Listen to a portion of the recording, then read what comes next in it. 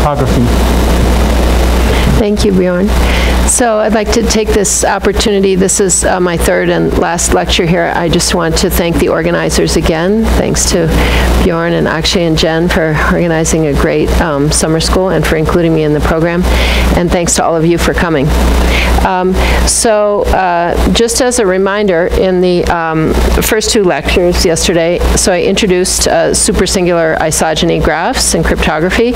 Um, in, for any of you that missed it, I showed this nice picture from Science Magazine from 2008, um, which we created, which is a picture of a very small supersingular isogeny graph. Um, so just so you kind of get this intuition of a uh, very, very messy looking graph that's hard to navigate. And so in the first lecture, we covered both cryptography and kind of some number theory, elliptic curves from a high level, um, and the, the impending quantum threat, and we defined a hash function um, from supersingular isogeny graphs. And then in the second lecture, we actually talked about these graphs from the perspective of expander graphs and the expansion property and the optimal expansion property of being a Ramanujan graph. And then we talked about the application, which was key exchange, so being able to do a key exchange using these graphs. So in this lecture, um, I'd like to focus a little bit on quaternion algebras, which I've mentioned why that's relevant. We'll get, get back to that and repeat that here. And an algorithm for attacking um, these cryptographic proposals, which works in the uh, quaternionic setting, and um, some of the recent um, work coming out of that direction. And then talk about a third application, um, which is signatures. So in each of the three lectures, I'm attempted to cover like one or more whole branches of mathematics and some applications. So I know I know it's a lot, but hopefully uh, you find some things in each that um, you find interesting. So um, first let's uh, go back to why, why are we going to talk about quaternions? Well, the reason is because uh, our graph, our supersingular isogeny graph, the vertices are supersingular elliptic curves, or at least um, isomorphism classes of supersingular elliptic curves. And what is a supersingular elliptic curve? Well, one way to define it is that its endomorphism ring is a maximal order in a quaternion algebra, in a definite quaternion algebra, BP infinity. Um, so I'm going to talk a little bit about wh what that quaternion algebra looks like and what these orders look like uh, in next in the beginning of this talk. And the reason is because we have this beautiful uh, Deuring's correspondence uh, which allows us to think about the graph instead of having its uh, nodes are elliptic curves and its edges are isogenies, we can think of its nodes or vertices as being maximal orders in the quaternion algebra by just mapping an elliptic curve to its endomorphism ring. And then um, instead of isogenies, what we have is connecting ideals of certain norm. And that's, that's what replaces um, isogenies of a certain degree in, in, um, in the, the description of the graph that I've been focus, focused on yesterday. And as I mentioned uh, yesterday, uh, another fact that we use in cryptography is what is the size of this graph. So if you fix P and you look at supersingular elliptic curves in, in characteristic P, then thinking of the description of the graph in terms of maximal orders in the quaternion algebra BP infinity helps us because we have the Eichler class number, which tells us that the number of nodes is roughly P over 12 and that allows us to figure out what size p we should use in order to get a certain amount of security because it tells us how big is the graph. Okay, so now let's talk about quaternion algebras. And uh, as you can see, I mean, I don't have time to do a whole course on quaternion algebras. So just like in the elliptic curve case, I'm just giving a very, very simplified description of the objects that we're going to work with. So this uh, definite quaternion algebra, which is ramified at p and infinity, bp infinity is the notation we use for this.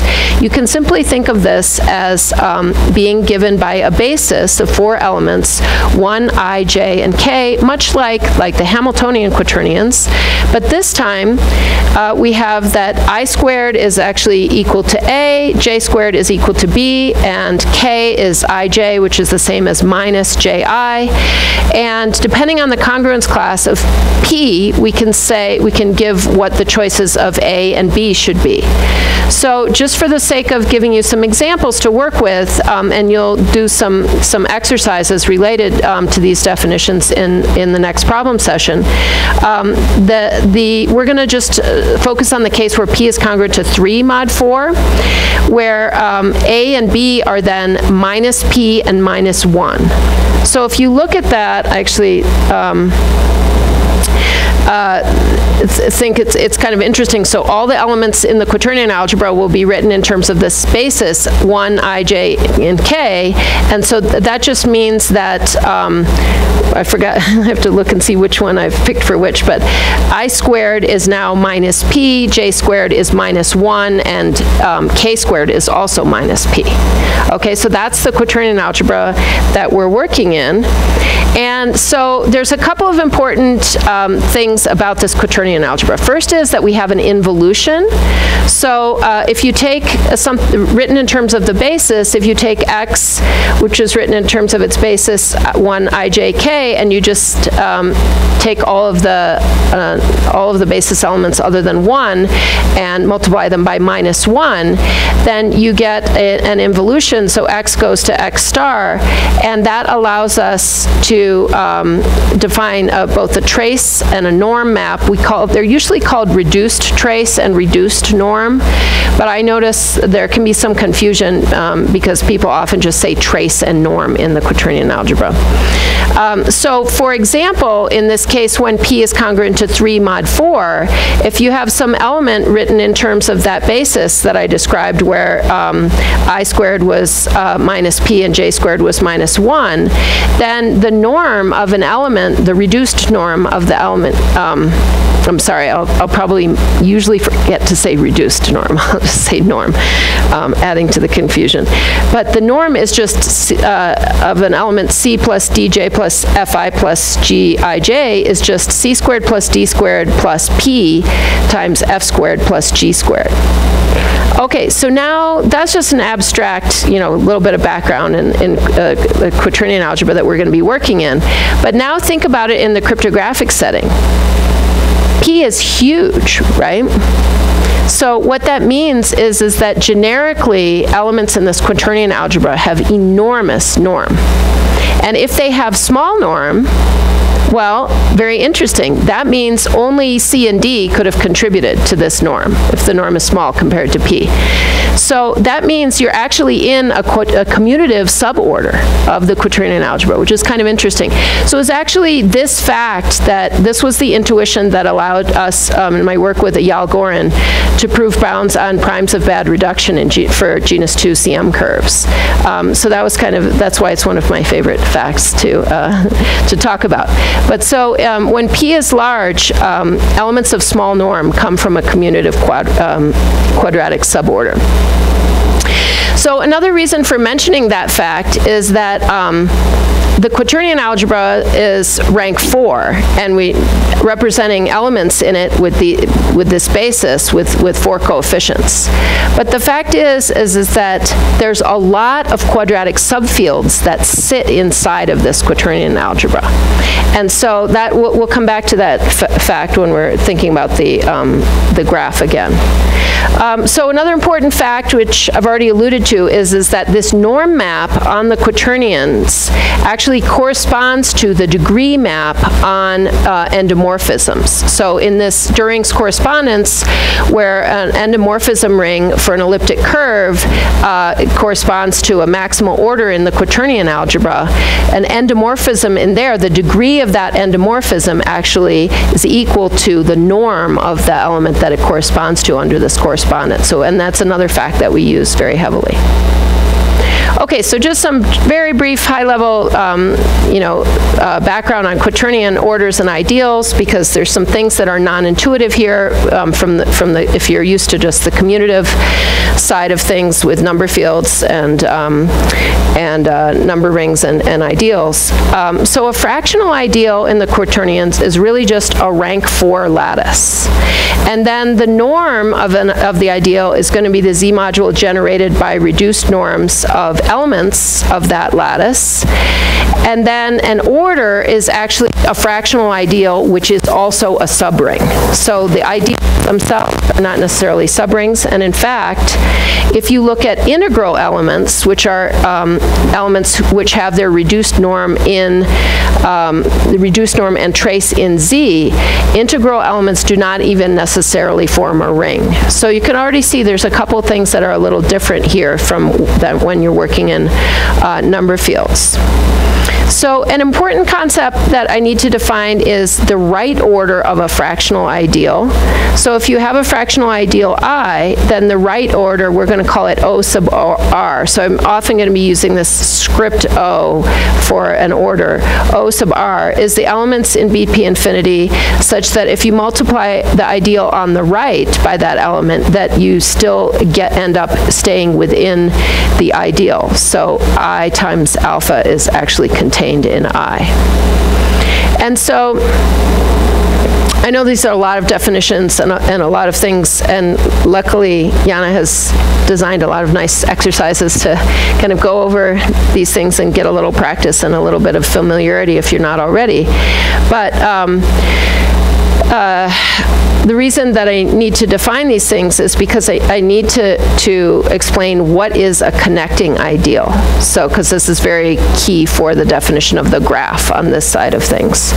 So, given two maximal orders, a connecting ideal, uh, maximal orders are, let's call them O1 and O2. So, connecting ideal I has the property that its right order is O1 and its left order is O2. Left order is defined analogously to right order where you just multiply on the left instead of the right. So what that means is that um, you can actually think of, um, instead of thinking of the set of um, maximal orders in the quaternion algebra, you can also think of it as fixing one maximal order and then think of all the connecting ideals that represent um, getting to the other maximal orders. So in that sense, you can think of it as like a, a kind of a class group where you've, you've, you've got a fixed reference point, which is an, one initial uh, maximal order, and now you have all the left ideals, uh, all, all of the possible left ideals of that or order, and their right orders give you all of the rest of the maximal orders.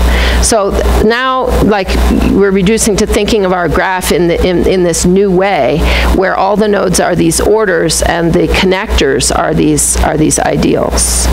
And you can actually um, compute these ideals, these connecting ideals. So way back in the, in the last century, like in the end of the 1990s, um, David Kohel already implemented these things in, in Magma, in the Magma software package. And um, so you can actually compute these, um, all of these maximal orders and these connecting ideals. And now it's in, in Sage, although I'm not exactly sure um, who has written it. And just as a little bit of a warning, I mean, with the development of SAGE, over time there have been times when some of these uh, functions were not actually working in, in SAGE. So hopefully they're working now. But um, so they were originally implemented in, in Magma by, by David Kohel. And um, so you can compute these um, connecting ideals. Um, for example, you can see in the um, reference uh, by Kirschmer, Kirschmer and, and Voight, which I have the list of some of the quaternion references in the end of this slide. You can see there's an explicit way to compute this, this connecting ideal.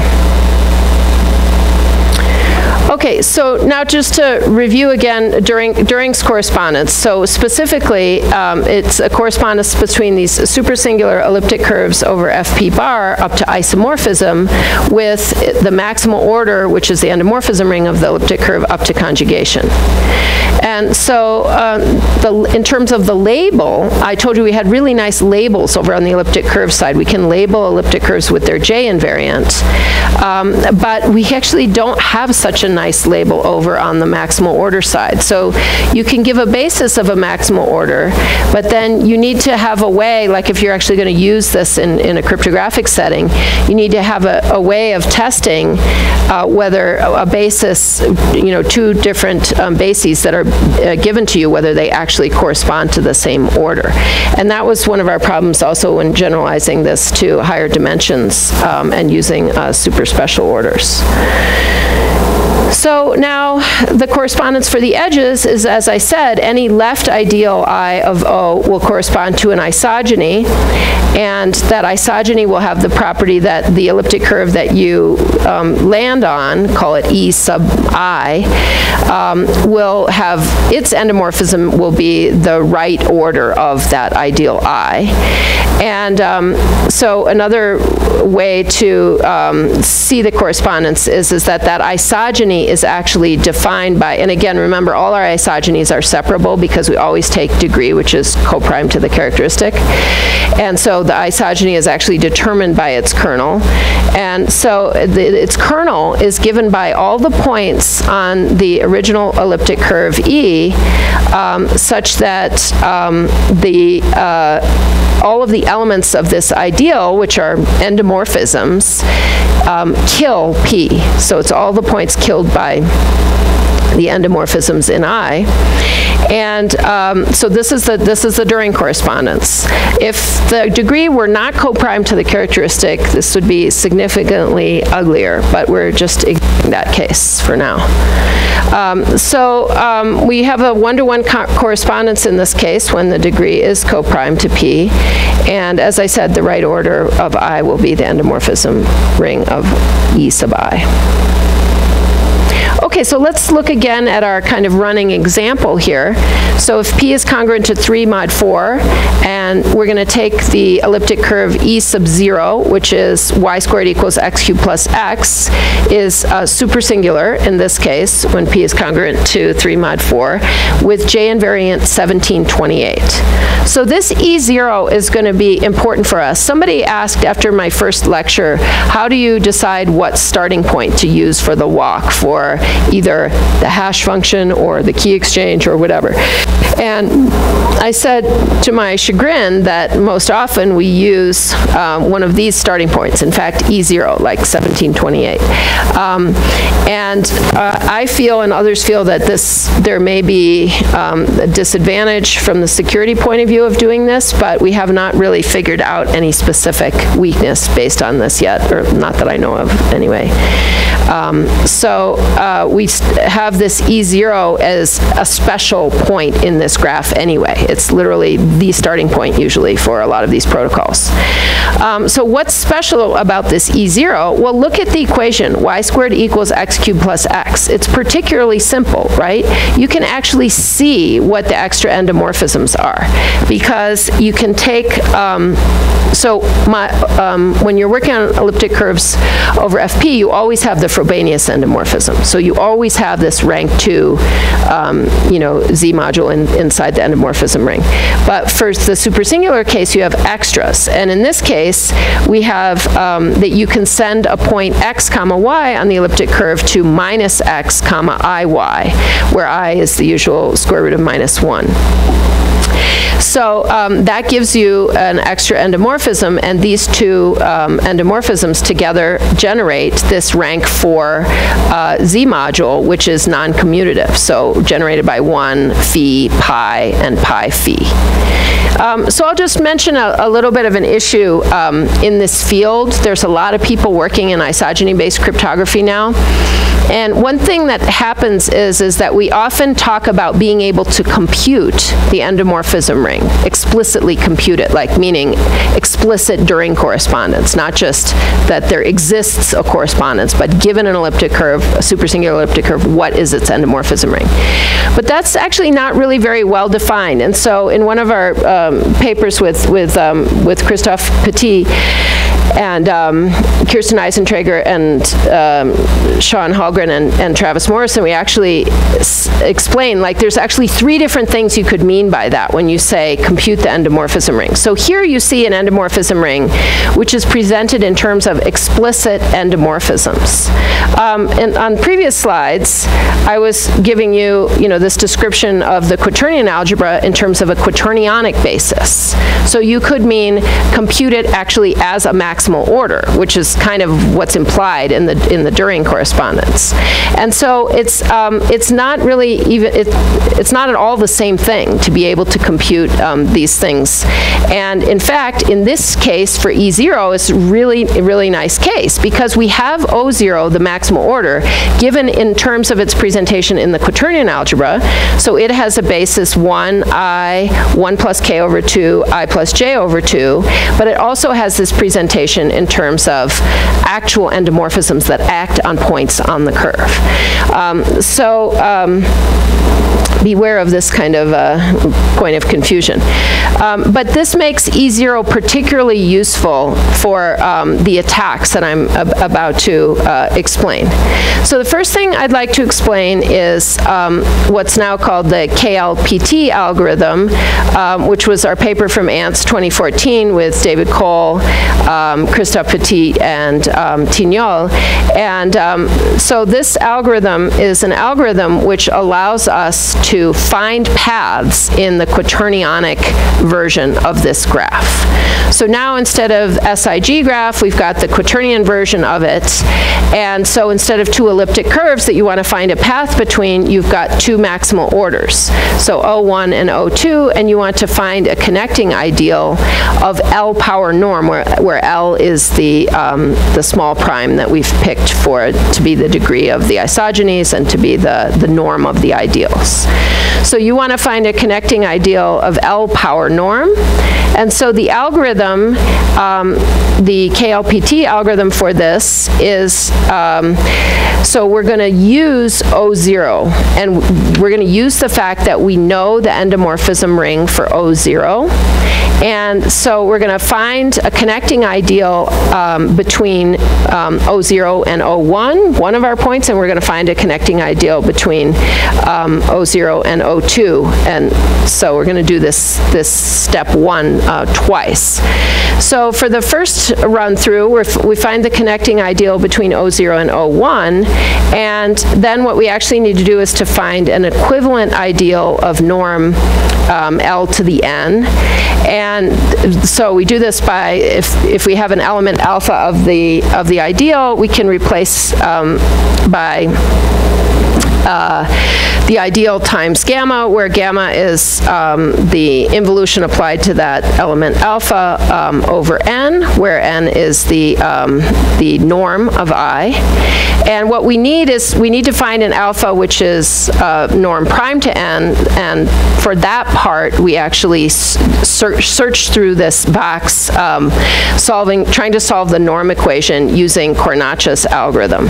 So um, uh, I think that um, the this is a little bit diving into the weeds here, but for um, I was asked about whether um, we could make this algorithm deterministic. Um, and right now, this is the step which is not deterministic, where we're looking for um, a solution to uh, the norm equation uh, using Cornacchia's algorithm.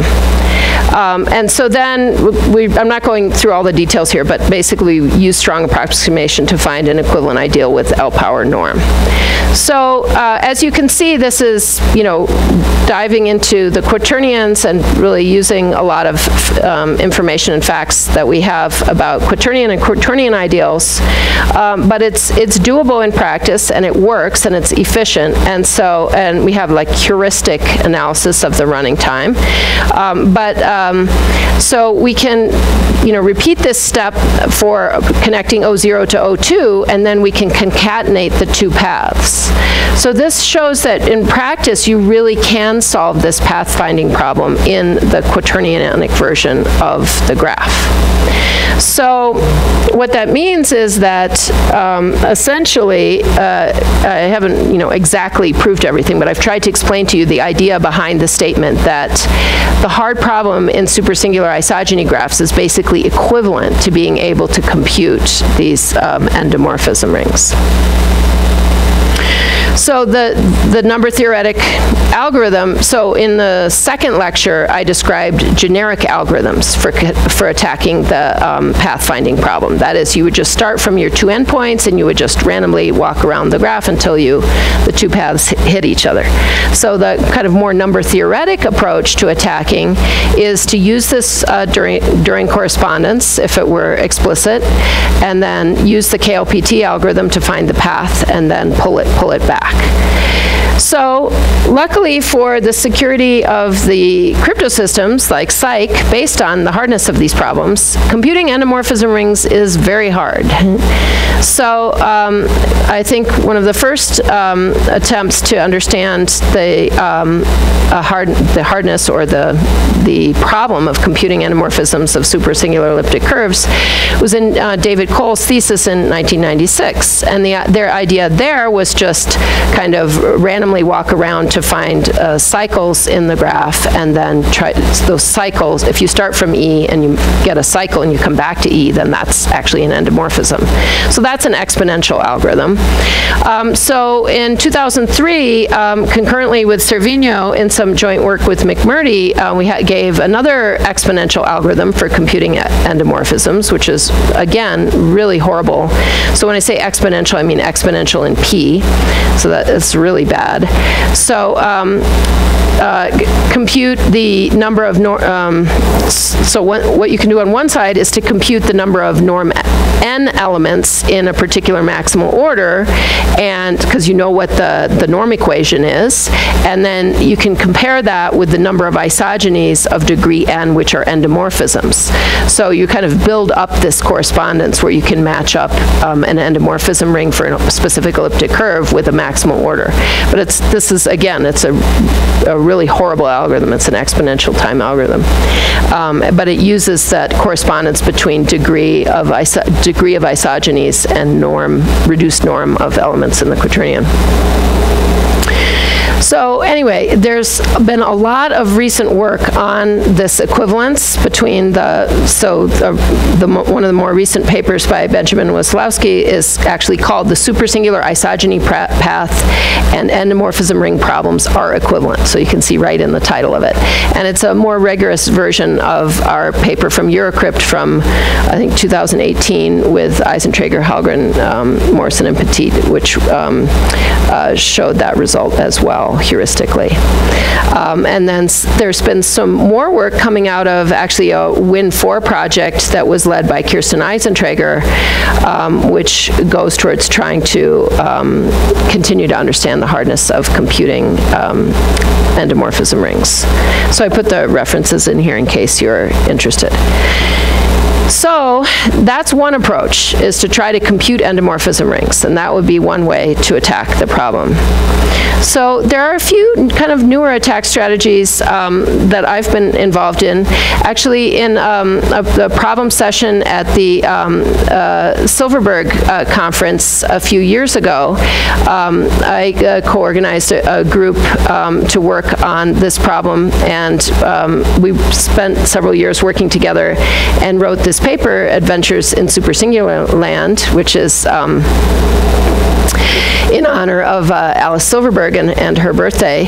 Um, and in that paper, um, actually, and so um, one of the interesting things there is, is that before that work, I always thought about the supersingular isogeny graph like the picture from Science Magazine that I showed you, right? Just this really messy graph, like no orientation, how do you find your way around?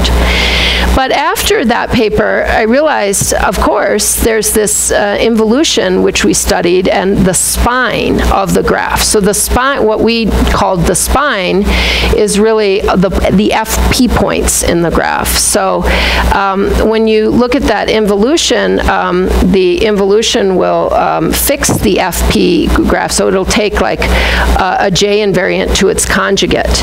And if the elliptic curve is defined over FP squared, then it takes the elliptic curve to a different elliptic curve. But if the elliptic curve is defined over FP, then the J invariant is F in FP, and it's fixed by this involution. So now we have a graph which thinks it looks a little different, right? That it has an involution on it, and it's fixed. The fixed points of the involution are the points that are defined over FP. And so um, in that paper, Adventures in Supersingular Land, we did a lot of experimentation, and there's a lot of um, interesting data and results there. Um, for example, how hard is it to navigate to a point on the spine if you're in some random place on the graph? Um, but another thing that we investigated there is um, that if you think of the volcanoes that come from the ordinary graphs, so I haven't talked about this topic in this set of lectures, so um, I apologize for bringing in something that's not really very well explained here. But um, if you look at elliptic curves which are um, ordinary over FP and they have CM by a particular field, K, let's call it, there's a volcano associated with um, all of the different um, possible kind of suborders of, um, of the ring of integers of K, which correspond to the endomorphism rings of all kinds of elliptic curves. And there's a rim where all of the elliptic curves have uh, maximal order in, in K as their endomorphism ring, and then there's kind of tentacles that go down, and that's why it's for the, the elliptic curves that have suborders as their ring of integers. So that's why it's called a volcano. And volcanoes are much easier to navigate, of course, than the supersingular isogeny graph, because there's kind of a top, there's a rim, and then there's branches that go down like a tree. So that's why the um, problem of working on, on an, on an ordinary graph is much easier than the supersingular isogeny graph. But what we investigated in this paper is the fact that you can see these volcanoes kind of being embedded from different CM fields that live inside the quaternion algebra. You can see these volcanoes showing up in different places. And um, the interesting thing is, is that the way that they embed into this supersingular isogeny graph is, is very non-trivial. So the three things that can happen is, is that they can stack on top of each other, um, they can fold over, or they can attach to each other. And so the volcanoes are sitting inside the, the supersingular isogeny graph in a very interesting way, which we describe completely in that paper. And so I think uh, there's at least uh, Kristina Nelson and Jana um, here as co-authors on that paper if you want to talk more about that paper. Um, and then the other paper that I wanted to talk about that um, goes in a little bit different direction but somewhat related is my uh, Win5 um, project um, co-led by Kate Stange. And Kate Stange is, I'm not going to say too much because she's going to be giving a whole talk on this paper um, uh, next week. And, but it kind of builds on this idea that if you have an endomorphism that corresponds to the embedding of uh, CM field K into the quaternion algebra, so you actually know an endomorphism, you know, a non-trivial, non, not Frobenius endomorphism of your, of your elliptic curve, then you can use um, the volcanoes that correspond to that CM field um, in, uh, embedded into the supersingular isogeny graph, and you can use that volcano to, uh, to actually trace around and find cycles, and we can use it to actually find paths by having from two directions, both going up to the rim and hitting each other eventually and then getting back to the starting point. So that's a, another kind of interesting direction, but as you can see, again, it requires the knowledge of um, some information about the endomorphism ring. And for that paper, besides Kate, we also have uh, Mingjie Chen here, who's a co-author you can talk to. Um, okay, so finally, in the last part of my talk, um, what I wanted to do is to um, talk about um, the third application of supersingular isogeny graphs, which is um, these signature schemes. So uh, originally um, designed by um, Galbraith, Petit, and Silva in 2016, and then um, with the uh, more recent uh, construction in uh, SQISign. Oh, so I, I, was saying SQI sign, but I, I guess they say SQISign in, in 2020. So the setup for SQISign for, for getting a signature scheme is going to be um, that we're going to fix a prime P and the elliptic curve E0, which is the usual one, the special one that I told you about, defined over FP with known endomorphism ring o, O0. And then we're going to select uh, a D, which is an odd smooth number D, with which is fairly large, so log P bits. And then for the key generation, what's going to happen is that the prover is going to take a random isogeny walk from E0, landing up at EA. And the prover will make EA public and keep the isogeny itself secret. So this should look familiar to you. That's like the first stage for Alice or Bob when they're doing a key exchange. They start from some known elliptic curve and they take their secret isogeny walk and they make the, the, the landing point, the ending point public, but they keep the isogeny um, secret, private. Okay, and so then here is how you can create an identification protocol for, um, from this. So what's going to happen is the, the prover, in addition to have having this secret isogeny and this the, the public key corresponding to it, is also is going to um, generate a random, uh, or well, I guess it's not send, sends it to the, the commitment is this secret isogeny. It doesn't necessarily send it to the verifier, but just makes it public. And then the challenge is going to be the verifier sends um, a cyclic isogeny from the ending point of the secret walk, um, and that cyclic isogeny will have um, degree D. And the, the challenge, the verifier is going to send that challenge to the prover, and then the response is that the, um, let me just show you the picture here. So let me see if I can get my cursor. So starting from E0, the public point, tau was the secret isogeny. And then um, we're going to have this commitment, which is a different isogeny phi to E1, a different elliptic curve, that's sent from the prover to the verifier. Then the verifier is going to send this challenge isogeny phi, which goes from E1 to some other elliptic curve, E2. And so now, in order to respond, what the, what the, uh, the prover is doing is basically proving that she knows this tau by taking the dual isogeny of tau, and starting from EA, taking the dual going up to E0 and composing with these two, um, she can come up with this isogeny sigma, which is the composition of these three. So that's this, this formula here. Sigma is um, phi composed with psi composed with um, tau dual, which goes from EA to E2, and it has the right properties, which is that it'll have um, degree uh, D and such that um, phi dual composed with sigma is cyclic. So the verifier can then check, um, did, the, did the prover um, provide an isogeny from um, EA to E2, and does it have the right properties? So that's how you can create uh, kind of a, an, an, identification scheme, which is a building block for a, for a, um, a signature scheme from, from these graphs. And again, you can see that it relies on the hardness of given E, like in this picture, given EA and e, E0, can you find a path between E0 and EA?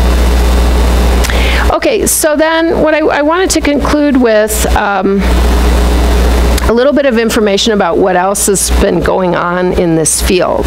So we proposed supersingular isogeny graphs more than 15 years ago, 2005. Um, and not much was happening until the, um, the proposal for key exchange with um, Jao, DeFeo, Plût, and the advent of the search for post-quantum crypto schemes. So when it was realized that this could be a post-quantum assumption. Um, but uh, so as you can see from from some of the results I've described, in the, in the meantime, there was always those of us, like myself, interested in hardness of computing the endomorphism ring and um, these related problems, and also um, describing some of the um, kind of number theoretic um, analogs of, of these graphs. So, um, that, but there's been a lot of other, other graphs that have also been considered. So I wanted to just give a few pointers to some references um, for work in that direction. Um, so, of course, one of the first things is, you know, you can vary the isogeny degree, and as you see um, already in the key exchange, you use isogeny degrees, what, which are two or three, but you can use even larger degrees. Um, so in our original proposal for cryptographic hash functions from expander graphs, we also proposed using Graphs, which are also Ramanujan graphs that have optimal expansion properties. So we thought, oh, these could be good, and they're much um, more efficient to implement.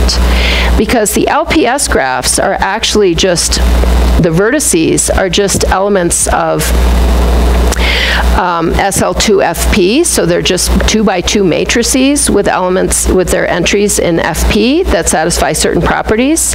And those are actually Cayley graphs. So the connectors, the, the edges, are just are, um, obtained by multiplying um, on one side by a fixed set of basically L plus one um, different matrices that satisfy certain properties.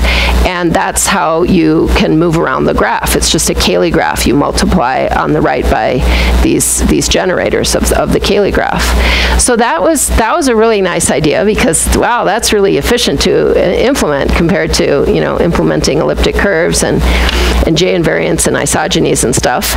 Um, but here's the problem. This was pretty interesting. So in 2008 already, in um, Eurocrypt 2008, Zémor and Tillich um, produced a way to um, find cycles in this graph. And it was kind of analogous. There had been hash functions defined based on um, other Cayley graphs uh, that usually they use kind of the, the basic strategy for those attacks for on the other Cayley graphs had been um, that you uh, kind of lift the elements so they're not you've got two by two matrices, and the entries are in FP, but you lift the elements to Z, and then you use kind of like a Euclidean algorithm um, to attack them. And Zémor and Tillich were quite familiar with that, and they had um, that in their mind, and they were able to make that work to find cycles in the LPS graph. And um, so it, that was pretty quick uh, and made it so very unlikely to want to use LPS graphs for, for hash functions. And in fact, following on that right away in joint work with um, Christophe Petit and um, Jean-Jacques Quisquater, uh, we were able to extend their idea to actually find preimages in these graphs, which is, uh, if you remember, finding preimages is the same idea as finding paths. So you have a starting point that everybody knows, and now you're given some ending point for the hash function, and finding a preimage means just what did you put into the hash function so that you landed up at that point, and that means you found the path between them. So um, a really interesting note, and this is um, an intersection of two very, very different fields coming together here in a very interesting way is that our pathfinding algorithm for LPS graphs, first of all, that had been, Lubotzky was at a, a conference at IPAM in, in 2008 where um, he had invited me to speak on this algorithm, and he said that he was very pleased because this pathfinding algorithm, this pathfinding problem had been open for several decades for finding, being able to find paths in LPS graphs. And in fact, the approach that we used, um, um, Peter Sarnak has uh, recently realized, is actually the same algorithm as the fairly well-known Ross-Selinger algorithm for efficient quantum arithmetic. So you might think, oh, wow, this sounds really weird. But it's not that weird because for any of you that, I don't know if any of you heard Christel's uh, talk on, on quantum arithmetic, but um, uh, in, in the quantum setting, you have um, a, uh, a certain set of gates that you use for operations, like the Clifford gates or the T gates. And these are just um, two by two matrices. And so to, to move around, like to, um, to model quantum arithmetic, really means just to um, apply these gates successively. And so when you want to um, do a certain computation, what you really need to, like a, a real computation that we're used to doing with normal classical computers, you have to model that computation in terms of these Q gates, or T gates, sorry, uh, T gates and Clifford gates. And so what you're really doing is finding a path in some sense in this, in this graph, which is whose steps are given by multiplying by these two by two matrices. So it's actually very, very similar problem, and the algorithm that they came up with is um, later is almost the same um, algorithm as our um, pathfinding algorithm for LPS graphs. So that was just a little aside, but I thought it might be of interest to some people, so I wanted to mention it. Um, but there's other graphs that have been tried, the Morgenstern graph, um, the higher dimensional analogs in dimension um, two and above that I mentioned with um, Charles and Goren. And then more recently, um, adding level structure to the elliptic curves and looking at that graph. So Sarah Arpin um, has just finished her PhD, and her paper is available called Adding Level Structure to Supersingular Elliptic Curve Isogeny Graphs. Okay, and then aside from the different graphs that have been considered, there's a whole community of people working on the actually the crypto side of these isogeny um, isogeny-based systems. So alternate graphs and protocols coming from, for example, the CSIDH um, proposal, uh, Dimension 2 um, analogs um, proposed by a range, a range of people, including um, the one by Florit and Smith, which I mentioned in my earlier lecture. Um, other signature schemes, which I didn't describe here, attacks, which um, use some of the auxiliary information, such as using the, the torsion points that are known, um, and then some of the work I talked about um, with the with trying to use the uh, the graph structure to attack. Okay, so at this point, I would, um, I'm finished with everything that I wanted to say in this uh, series of lectures. I'd be happy to take more questions. I really enjoyed um, talking with all of you, and I hope you got an idea of one of the proposals for post-quantum cryptography, which is these kind of huge, messy-looking supersingular isogeny graphs, which draw on all kinds of beautiful mathematics, ranging from, from elliptic curves to quaternion algebras to, to Ramanujan graphs. So it's really a fruitful area to work in, and there's a lot of work to be done. So I hope you've learned something from this and that you will hopefully enjoy working in this area. Thank you.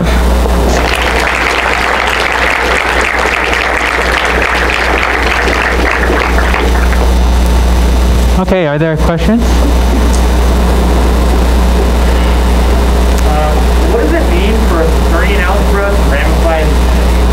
Yeah, sorry I didn't say that. So actually, um, I have to dig back into my memory. It's been a while since I've thought about this.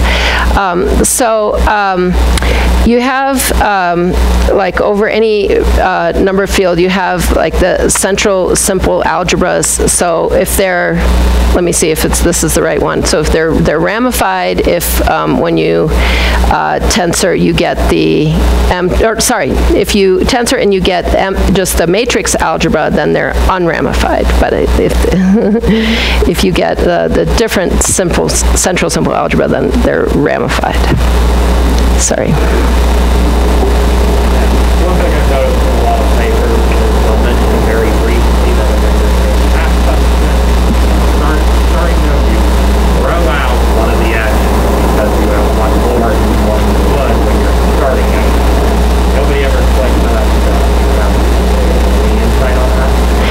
Yeah, that's a very interesting point. I'm always, whenever I give this talk, I'm always waiting for somebody to ask that question. so, um, did everyone hear the question? Okay, so, um, you know, I say like the two isogeny graph is three regular, and if there's no backtracking, you have only two choices after you've taken one step. But how do you decide the first step? So that's the basically the question. So there has to be, there are different proposals that you could make, and I'm embarrassed embarrassed to say, I'm not sure which one they have taken for SIKE, for example. But, um, I mean, I guess when you do, if it's not the hash function, um, no, you still have the same problem for SIKE, yeah, the same problem for both. So you have to throw one of them out, and there's different deterministic ways to do it, and possibly there are bad ways to do it. I'm not sure if anyone has shown that there's any bad choices for how to do it. Yana, do you know how they do it? Sorry to put you on the spot.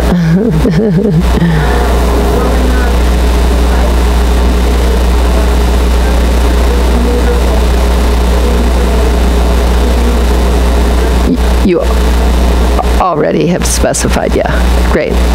So I'm not sure if everyone heard that, but, so instead of starting at the starting point of 1728, you already take one, one step, and you start at that point, and so you can't go backwards now, so. Thanks, Hannah.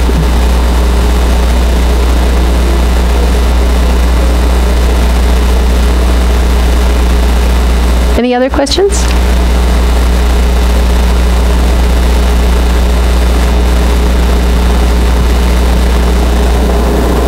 Questions? Okay, let's thank Kristin Lauter again.